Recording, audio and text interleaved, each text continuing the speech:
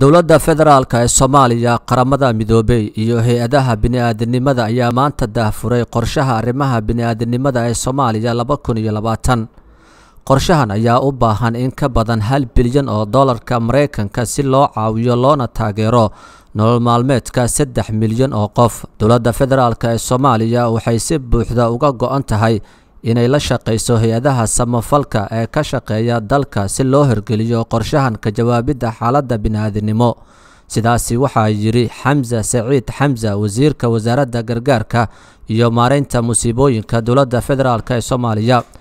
Marka baahida ugu badan meesha waad aragteen waddanka cuniyuridda ka jiro waxyaabaha sabayna maxaa la yidhahdaa isbeddelka cimilada fatahaadaha isdabajooga iyo abaaraha iyo dagaaladan waxay abuureen ilaa saddex milyan oo barakacyaal inay meelahaas ka soo tageen waxyaabaha aan la soo daraasnayn sanadkan in waddanka meelaha qaarkoodan aan access jin la tegi karin oon diyaaradahan isticmaalayna markay jireen fatahaadahan kharash badan ay ku baxeen hataa qorshihii hore inu isku dhaaman. Iyo dadkii donorska si la rabo mar qaarkood wax u bixinaynin laakiin dadaal alxamdulilah ee soomaalida sanadkan aad bay isku gurmadeen. Shacabka isku jiraan culamaauddiinta ganacsatada ururka haweenka dhallinyarada meel kasta laga bilaabo somalilan ilaa koonfur ay u gurmadeen fatahaadihii ka dhaceen waddanka. Marka dhibaatooyinka waa iska jiraan waxaan hadda ka bacda insha allah ana dabajoog aan ula shaqayn doonaa hay'adahan. Aan ku amrayn in meel kasta ay tagaan. Qorshahan gurmudka waxa uu dhammaystirayaa dadaalada socda ee dowladda federaalk ee soomaaliya ee wax looga qabanayo dhibaatooyinka bini-aadinimo ee ka jira dalka soomaaliya. Dadka u baahan gargaarka waxaa ka mid ah hal dhibic toddoba milyan oo qof oo ka barakacay colaadaha nabadgelyo xumada guuritaanka qasabka ah abaaro iyo daadad ku dhuftay qeybo ka tirsan dalka soomaaliya. Sida laga soo xiganayo qorshaha h r b ga in ka badan kala bar tirada dadka soomaaliyeed waxay ku nool yihiin faqri. Waxaa ka mid ah beeraley iyo xoolo dhaqato sabool ah iyo cuntayari haysata dad badan oo barakacyaal ah oo gudaha dalka ku barakacay.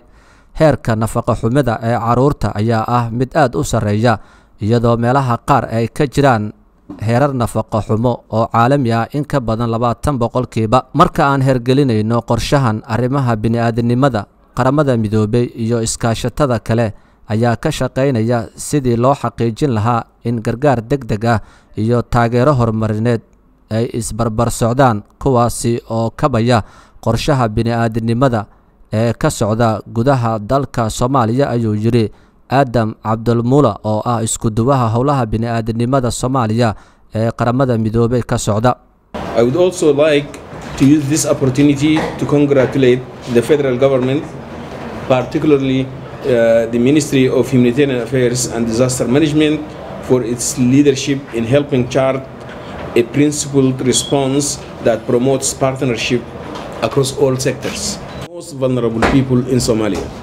We expect that this will cost 1.03 billion US dollars, 11% less than last year's humanitarian response plan. I wish to thank our donors who generously funded 87% of the 2019 humanitarian response plan. the challenge, though, was that the funding was skewed across clusters with some like shelter and health not as well funded as food security and nutrition, and resources were not provided until crises were upon us.